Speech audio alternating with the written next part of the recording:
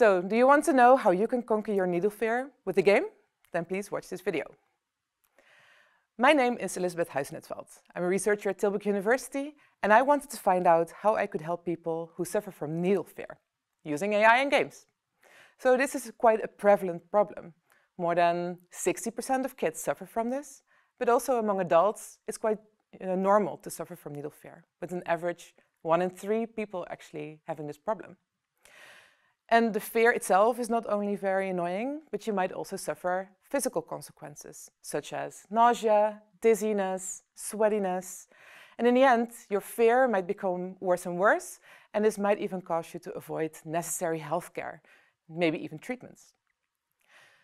So actually, this problem is also very adverse for healthcare professionals because a, a, blood draw, which normally might take three minutes, can actually last up to 20. And this is also a very costly problem. So what have we made to sort of uh, solve this problem? Well, it's a game. It's an AI-driven serious game that can help you prevent or conquer your needle fear.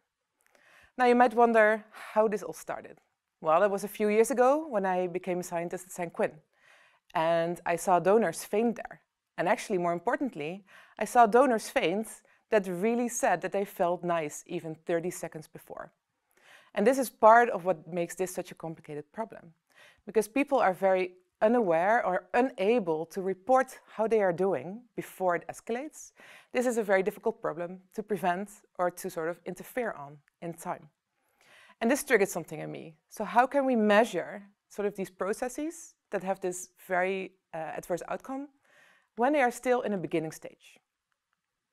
And this uh, inspired our FAINT project. So the goal of the FAINT project is to develop an artificial intelligence algorithm that is able to predict fear or what we call vasovagal reactions, such as the dizziness, based on your face and preferably based on video imaging of your face. And the goal is that we want to be able to measure what is going to happen when you have your needle-related procedure while you are still in the waiting room. How did we do it? So we ran this study at Sanquin, the National Blood Bank. We invited three types of donors to participate in our study. And the first are very versed, you know, well-rounded donors who've donated quite a few times without any issues. So with these donors, we know that they're unlikely to suffer from fear or vasovagal reactions during their donation. But we also invited donors who had felt unwell at their previous donation. And we know from research that if you've had such an adverse event at the last donation, you're more likely to suffer one again at your current donation. And also we know that first-time donors are more likely to feel either anxious or that they feel dizzy so we invited these donors for just a regular blood donation. And what we did is we filmed them with both a regular digital camera and an infrared thermal imaging camera. And we follow them throughout the whole donation procedure. Now, if you know, if you, you, maybe you've been through this or maybe you haven't, but you come in and you have to sign up, you have to fill out a donor health questionnaire, you go to donor physician. This all takes place before the actual blood donation. Then you're put in a chair, the needle is inserted, the blood donation starts. At the end, the needle is extracted. And we know that these are quite yeah, the most uh, anxious inducing events in a blood donation. And afterwards, you sit in the donor cafe. So during the recordings, we also asked donors how they were feeling. Are you feeling dizzy, weak, stressed, nervous? And we asked this on a scale uh, of one to five, during all these stages that I just explained.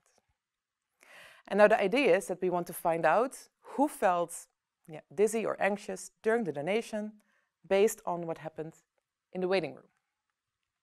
And as you can see, donors are less likely to experience needle fear than people in the regular um, population, because of course they already made the conscious decision to come to a blood bank. However, you can see also a lot of variation. And that especially at time point four, for example, when the needle goes in, this is seen as quite yeah, an anxious uh, inducing event. And this is where most people feel dizzy. So we were curious to know what type of data could best predict what would happen during the donation. So we used the different data streams, both the infrared thermal imaging data and the regular uh, video data. And we used also different ways of analyzing the data. For example, with the infrared thermal imaging, we tried to extract, extract different regions of the face that we know from research are very important. However, from the video data, we also wanted to see if maybe facial expressions could really explain uh, or predict how people are feeling. And we also wanted to use deep learning, so not really looking at what, might, what it might be before, but just feeding all the data uh, to an algorithm and seeing what comes out of it. So let's first look at what actually happens if you just ask people how they're feeling. Because we ask people, how are you feeling now at the beginning of the donation? And you can see that um, the performance is okay. Actually, an artificial neural network worked the best. And it's good to know that an F1 score, the higher is the better, so up until 1. But for us, it's also important that we have a high recall score, because that means that we are well able to get the donors um, to, or to find the donors that will actually experience a vasovagal response. Good to know is that we also uh, actually measured some, measured some personality uh, questionnaires. So we asked people how afraid are you of pain? How afraid are you of fear? Like, um, are you very sensitive to what happens in your to what happens in your body? Uh, and how do you regulate emotions normally? So here you can see that actually this is also quite a nice predictor, uh, additional, uh, to see who might experience a vasovagal reaction. If you look at the facial muscles, um, the scores are approximately the same. Uh, and again, the, the recall score is quite high, so that's quite important for us in our game. The infrared thermal imaging, again, same, uh, approximately the same results. So we would have loved to see higher F1 scores, for example, but you know, for a data set that was quite unbalanced, which is quite um, impactful in, a, in an analysis like this, these scores are quite nice. However, the best benefit we get if we really look at just the video responses. And interesting, we just need like 25 frames to quite accurately, predict how people uh, are going to uh, respond to the blood donation. And of course, throughout all of these studies, we are using different techniques. We want to fuzz out more what really underlies these predictions. We want to see if we can improve the predictions. Um, maybe we can even uh, use combinations of it, that we want, once ask a donor to fill out a personality questionnaire, that we also ask how they are doing prior to the donation, and that we use this video imaging. So this is still to come. Uh, and also we want to know where in the face can we find most uh, information. And this is usually around these areas. Now we get back to the game, because this is nice, but how are we actually going to implement this in the game that might help people? So we implemented this, uh, one of these versions into our Einar game. And what it does, it records your face. Well, it doesn't record it, but it looks at your face.